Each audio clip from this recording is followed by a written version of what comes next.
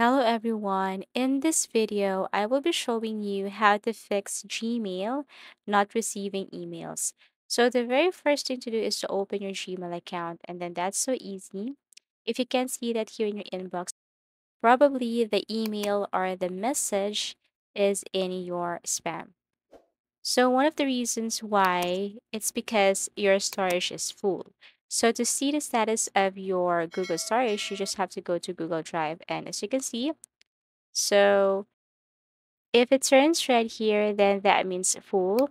So if you want to upgrade your storage, you just have to tap this one and then select the plan that you want to avail. Also, you can go to your inbox and delete some messages here. For example, this one, you have to delete this to clear up storage. Also, if you go to your Google Drive and you see tons of videos and pictures here, you just have to select that, right click, and then click delete.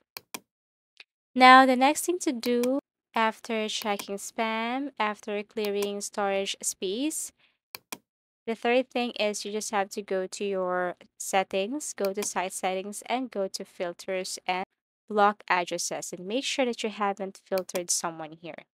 Okay, so sometimes we forgot that we have filtered an email. So that's the reason why we cannot receive their emails because they are right here. If that's the case, you just have to delete that one. Another thing is when you go to forwarding and POP, you just have to make sure that you haven't forwarded your email to specific email address or to someone. If that happens, you just have to delete that one. Okay, remove that one. So do not click this add a forwarding address. Also, you have to make sure that this one is enabled. Okay, and then after that, click save. And that's it. So I hope this video helped you. Thank you so much for watching and see you again in our next video tutorials.